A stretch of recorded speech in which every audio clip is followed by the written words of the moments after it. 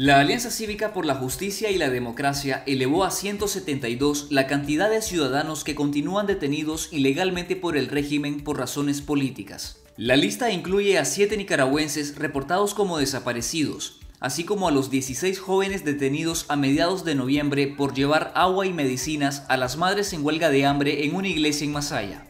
El listado de los presos políticos se basa en información recopilada por organizaciones de derechos humanos, abogados defensores, denuncias ciudadanas y el equipo de monitoreo azul y blanco. ¡Libertad para Larry Hernández! ¡Libertad! ¡Libertad para Wendy Juárez! ¡Libertad!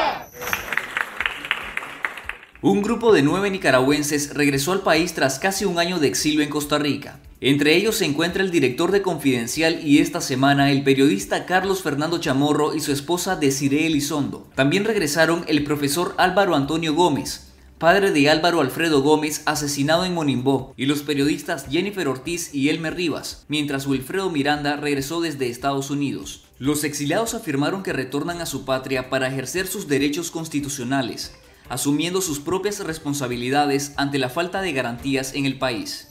El Consejo Permanente de la Organización de Estados Americanos debatió las conclusiones y recomendaciones de la Comisión de Alto Nivel del organismo que analizó la crisis nicaragüense. La principal conclusión del informe es que en Nicaragua hay una alteración del orden democrático, por lo que recomendó convocar a una sesión de la Asamblea General, la máxima instancia de la OEA. Sobre esta recomendación no se llegó a ningún acuerdo, aunque al menos 10 países se mostraron en favor de llevar a cabo la sesión extraordinaria. La Asamblea Nacional reformó con carácter de urgencia el Presupuesto General de la República 2019 para incorporar 7.885 millones de córdobas a los ingresos. El incremento de ingresos se dio gracias a una reforma fiscal que extrajo más de 230 millones de dólares de las empresas y trabajadores. El régimen recortó también el gasto de varias entidades públicas y municipalidades, y las reasignó a otras instituciones como la Policía Nacional, la Presidencia y el Consejo Supremo Electoral. En Estados Unidos, el presidente Donald Trump prorrogó por un año más la orden ejecutiva que califica a Nicaragua como una amenaza inusual y extraordinaria para la seguridad estadounidense. La orden ejecutiva le permite al presidente estadounidense sancionar a funcionarios orteguistas.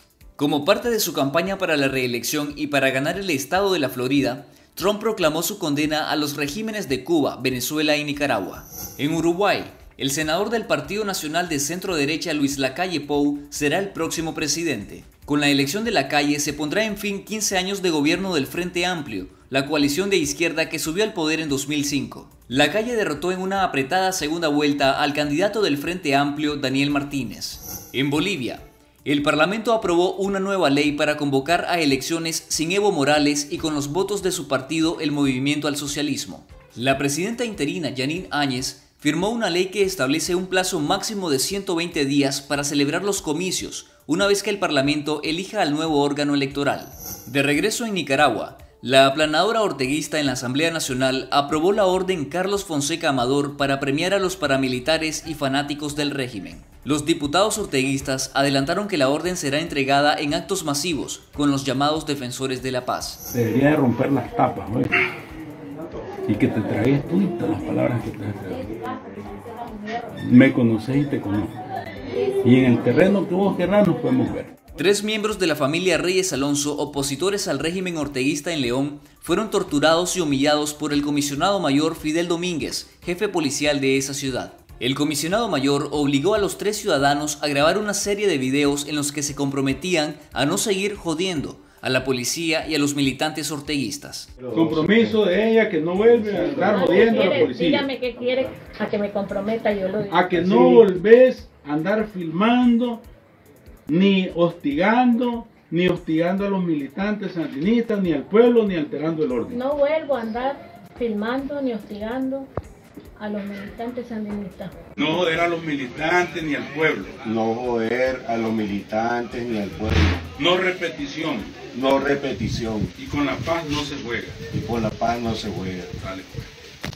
La actitud policial ha sido condenada por organismos nacionales e internacionales de derechos humanos. Una investigación periodística del medio español El Diario.es reveló que los paramilitares y la policía del régimen de Daniel Ortega dispararon municiones de origen español contra los manifestantes de las protestas cívicas en 2018. El diario señaló que cartuchos del fabricante Trust Eibarres S.A. fueron usados por los orteguistas el 23 de junio de 2018 durante un enfrentamiento con estudiantes atrincherados en la UNAM Managua. Ese día fueron asesinados dos universitarios y 15 más resultaron heridos. La investigación concluyó que las municiones llegaron a Nicaragua a través del mercado mexicano. Los 16 activistas de la Unidad Nacional Azul y Blanco detenidos por llevar agua a las madres que estaban en huelga de hambre en la iglesia de San Miguel de Masaya fueron presentados ante un juez la noche de este sábado 30 de noviembre. Según los abogados defensores, la justicia controlada por el orteguismo rechazó tres peticiones de las víctimas que revelan la atipicidad y la aberración del caso, y fueron remitidos a juicio para el próximo 30 de enero de 2020. Mientras se desarrollaba la audiencia judicial a puertas cerradas, los familiares de los presos políticos realizaron una vigilia en el complejo de edificios Cobirsa, en carretera a Masaya, para demandar una Navidad sin reos políticos.